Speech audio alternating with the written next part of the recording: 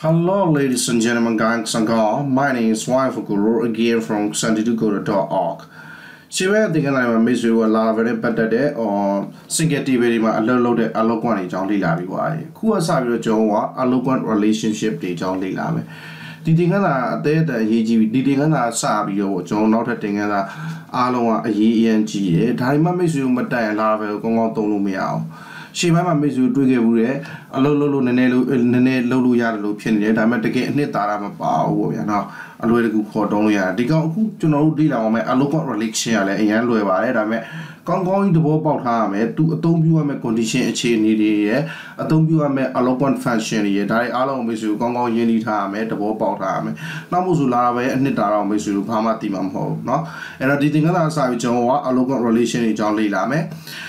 တော့ allocat relation တော့ဘာလုပ်တာလဲဘယ်အချိန်မှာအသုံးပြုရလဲကျွန်တော် database တစ်ခုကိုကြည့်မယ်ဆိုရင်အဲ့ database မှာ table အများကြီးရှိမယ် user တွေ register လုပ်ရင်တင်ဖို့အတွက် user table ရှိမယ်ပြီးတော့ post တွေတင်တင်ဖို့အတွက် post table ရှိမယ်ပြီးတော့ user တွေရဲ့ကျွန်တော်တို့နေထိုင်ရာလိပ်စာ address တွေကိုတင်တဲ့ address table ရှိမယ်အဲ့ table တွေကတစ်ခုနဲ့တစ်ခုချိတ်ဆက်နေတယ်ချိတ်ဆက်ပြီးတော့ကျွန်တော်အလုပ်လုပ်ကြတယ်အရင်ကတော့ကျွန်တော် foreign key တွေထည့်ပြီးအလုပ်လုပ်တယ်ပေါ့ဗျာနော်ပုံမှန်ဆိုကျွန်တော် foreign key တွေနဲ့ချိတ်ဆက်ပြီးအလုပ်လုပ်ရတာဒီလာပဲမှာတော့ကျွန်တော်က foreign key တွေပါတတ်မှတ်ထားကြမလို့ပဲနဲ့ allocat relation ကိုအသုံးပြုပြီးတော့အလုပ်လုပ်လို့ရတယ်။ပုံမှန်အဖြစ်မိတ်ဆွေတို့အရင်သင်ခန်းစာမှာတွေ့ခဲ့လို့ပေါ့ table တစ်ခုရဲ့ data ကိုပဲဆွဲနှုတ်တယ်ပြီးတော့ပြင်ဖော်ပြရတယ်ဒါပဲပေါ့အခုကကျတော့ table တစ်ခုက data တင်အလုပ်လုပ်တာမဟုတ်ဘဲနဲ့အခြား table တွေမှာချိတ်ဆက်ပြီးတော့အလုပ်လုပ်တာဖြစ်သွားမယ်နော်။ဥပမာကျွန်တော်ပြမယ်မိတ်ဆွေတို့ okay good အဲ့တော့ကျွန်တော်က table နှစ်ခုရှိရပေါ့ user table ရှိတယ်ပြီးရင်ကျွန်တော်က post table ရှိတယ်အမှကျွန်တော်က user table တွေက user id 1ရှိတဲ့ကောင်ထွက်ခဲ့အဲ့1ရှိတဲ့ကောင်ရေးထားရမြာ post တွေကိုကျွန်တော်တို့လှမ်းဖတ်ချင်တယ်ဆိုရင်အဲ့ user table တွေက user id 1ရှိတဲ့ကောင် select မှပြီးရင်ကျွန်တော်ကအဲ့ post table တွေကမှာ user id မှာ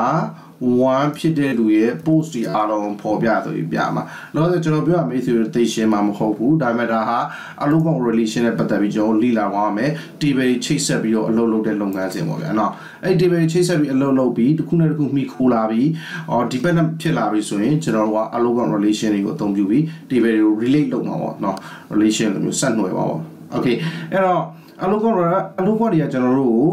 ဟို table တစ်ခုနဲ့တစ်ခုကြားထဲမှာ data အော် table တစ်ခုနဲ့တစ်ခုကြားထဲ data တွေကိုလမ်းထုတ်တာတော့လမ်းယူတာတော့ပေါ့ဒီဘက် table က user id ကိုယူပြီးဟိုဘက် table က post table မှာရှိတဲ့ post တွေကိုဆွဲထုတ်တာမျိုးဒါမျိုးလုပ်ငန်းစဉ်တွေကိုကျွန်တော်တို့လုပ်ပေးနိုင်တယ်ကျွန်တော်ထပ်ပြီးအများကြီးရှင်းပြရမှာဒါပေမဲ့ဗသက်နဲ့ပြောရမယ့်ဆိုတော့ဘောပေါက်မှာဆိုလို့ခဏတူရဲ့ alloquent relation တွေအကြောင်းကိုတိုက်ရိုက်လိလန်ကျွန်တော် table ပုံတွေကိုတက်ပုံပြပြီးတော့ဘယ် table နဲ့ဘယ်လိုချိန်မှာဘယ် table ဘယ်နှခုပါမယ်စသဖြင့်အကုန်ပြပေးမယ်နော်အဲ့တော့လောတဲ့သဘောပေါက်ထားမှာတော့ alloquent relation တွေကတစ်ခုထက်ပိုတော့ table တွေချိတ်ဆက်အလုပ်လုပ်တဲ့ခါကျရင်ကျွန်တော်တို့အသုံးပြုတယ်ပေါ့နော်ပြီးတော့သူတို့တွေကိုကျွန်တော်ကအလုပ်က relation တွေကို model တွေထဲမှာ model ဆိုကျွန်တော်တို့အခုလေ့လာတဲ့ MVC ပေါ့ model view controller architecture framework ဒါမှမဟုတ် zero pattern လို့လည်းခေါ်လို့ရတယ်နော်အဲ့တော့ model view controller architecture မှာပဲဆိုတွေ့ရမယ် model ကအာ database နဲ့တွဲဖက်ပြီးအလုပ်လုပ်ပါလေနော် okay ကဲအဲ့တော့မတူညီတဲ့ table တွေအများကြီးချိတ်ဆက်ပြီးအလုပ်လုပ်တဲ့အဲအလုပ်လုပ်တာရှိရှိရပေါ့ဗျာနော်ဥမာ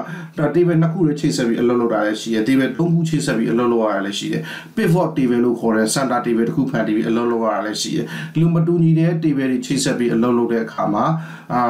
အသုံးပြုလို့ရအောင်လို့တော့ဟို fragmentation တွေတအားကွဲတယ်ပေါ့ဗျာနော်မတူညီတဲ့အပိုင်းတွေအများကြီးကွဲတယ်အလုပ်လုပ်ပေါ့အဲ့ဒီအားလုံးအတွက်ကျွန်တော်တို့အလုပ်ကောက် relation ကလည်းအမျိုးမျိုးကျွန်တော်တို့ရှိရင်အဲ့မျိုးမျိုးကိုကျွန်တော်လေ့လာပါတယ်နော်အဲ့တော့အလုပ်ကောက် relationship တွေဘယ်နှခုရှိလဲကျွန်တော်တို့ကြည့်မယ်ကျွန်တော်တို့လေ့လာသွားမယ့်အချက်တွေပေါ့ဒါ one to one relation ရှိတယ် table တစ်ခုတည်းတစ်ခုနဲ့တစ်ခုပဲတိုက်ရိုက်ချိတ်ဆက်တာ data တစ်ခုနဲ့တစ်ခုပဲတိုက်ရိုက်ချိတ်ဆက်တာအများကြီးမပါအောင် one to many ဆိုတာ data တစ်ခုမှာ user တစ်ယောက်တည်းရှိမယ်ဒါပေမဲ့အဲ့ဒီ user ရေးခဲ့တဲ့ post တွေကအများကြီးရှိမယ်ဒီလို condition မှာဆိုရင် one to many ပေါ့ကျွန်တော်နော်ပြီးတော့ money to money တွေတခါလေကျရင် post တွေကလည်းအများကြီးရှိတယ်ရေးတဲ့ကျွန်တော်တို့က